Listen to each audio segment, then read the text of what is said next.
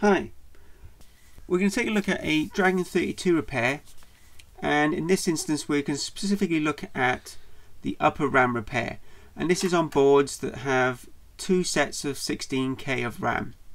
We're looking at this one because it's particularly easy to identify which chip has gone so this really does help the repair and find exactly which chip is gone without pulling everything out or trying to work out what is going on with memory decoding and things like that.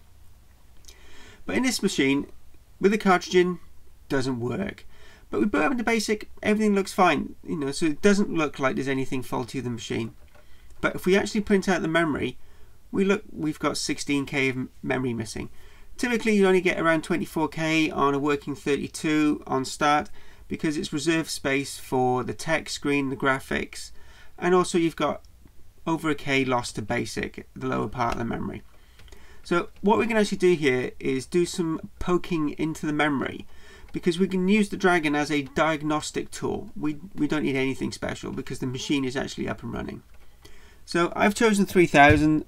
That's a nice safe bit of memory. It's in the graphics area that's normally reserved and that's in the lower 16k of memory. So what we're going to do, we'll poke in the zero and peek. So take a look at what we get back out. So this will be all the bits off. And we get back zero. This is very good. So we'll poke in 255, which is all the bits set, and see what we get back. I must apologize for this Dragon. This is a project machine, and the keyboard is pretty poor on it, I will admit. But that's for another day. We've poked in 255, which is all the bits set, and we'll check back on the 3000 memory, and we get 255 back. This is very good. This sort of proves the memory, lower part of the memory is working, and especially we know 3000 is working. So what we'll do now is we'll poke into the higher part of the memory, into the higher 16k of memory, and see what we get back at. So this is zero, this will be all the bits off, and we'll peek it back out and see what value we get back. In this instance, we got 64. That looks like we've just got one bit stuck on the in the memories. Out of the eight data bits, it looks like one bit is is actually stuck on. So what we'll do now is we'll also do a poke 255 in and make sure that we can actually get 255 out. So it'll prove all the other bits are fully working as well. Done the zero and we do 555.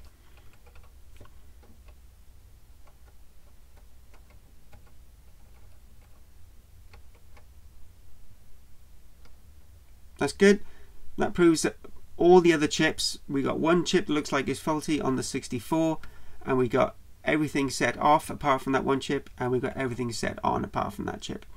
So I'll do, I'll just do one quick more poke into the memory just to make sure that we're getting consistent results.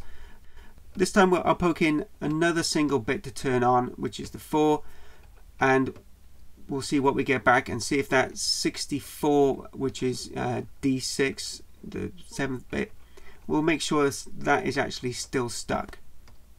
Yeah, it's stuck on. So we've got two bits. We've got the 4 and we've got the 64. This is a circuit diagram. Unfortunately, it's not the exact version for the machine we have, as it's only showing 8 memory chips in this version, because this is for a much earlier board. What I've done for you, I've traced out the uh, data lines back to the CPU so we can be 100% which ones are which, because obviously this is not the exact circuit diagram and there are going to be differences. This is the SAM chip. What it is, it does have RAS0, which is part of the select circuit. And RAS0 goes to the lower, the first 16K bank, and this is RAS1, which obviously doesn't exist, it's not showing on this diagram, goes to the upper top bank. This is the uh, Mark II board showing out the layout of the chips. Uh, we've got the lower 16K and the upper 16K marked out for you and this will help you identify which chip it is and the Mark II is by far the most common board. So we had a 64 stuck which points to the data bit 6 and in this version of the board you can actually see that you've got D6, I37. This will be the most likely candidate where the problem is. Time to get that 40 RAM chip out, the IC37 D6. I'm going to cut it out because I find that's the easiest way to do it on these boards. On a lot of these uh, Mark II boards, a lot of the pins were actually folded over on the back and they're folded in different ways. Be aware of that. So if you're just using a solder sucker, etc., it can be difficult to do it. So you might want to try straightening, straightening the pins if you're going to try and get it out that way. If you can desolder it like using a soldering gun, that's probably the best way to do it. I'd still like to say I go for the cutting because I just find it easier. There's a lot less chance of damaging the board. There are some really good soldering guides on the internet. I highly recommend you look on the map. Let's get that socket in there and get our new chip in there. I prefer to use the turn pin ones. They're much better quality Okay, so got the socket in, soldered in, ready to go. Let's turn it on and make sure it's still working and make sure we haven't damaged anything else, pulled any tracks. And see what we get. Okay, we're still exactly the same place where we were. Let's turn it off, get the RAM chip in there. Hopefully we got a good fix. If you look right at the end of this video, I've got a little section on the spec for the 4116s because uh, the main thing is is the 128 refresh cycle because the Dragon uses the video in between the CPU so you definitely need that 128 256 will not work. So let's uh, let's turn it on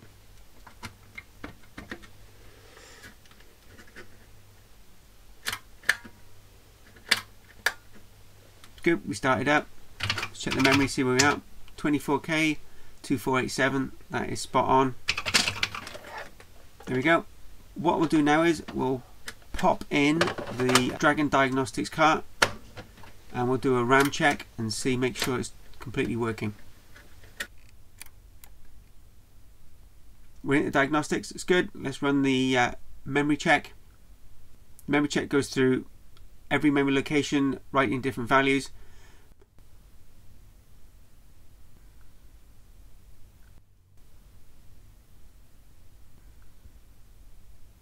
Good, it's passed the RAM check. We're good to go. You can obviously just load your cartridges, load games. That's the easy way to do it. It was just to do a complete check and make sure that we're good. Thanks for watching. Hope you find it useful.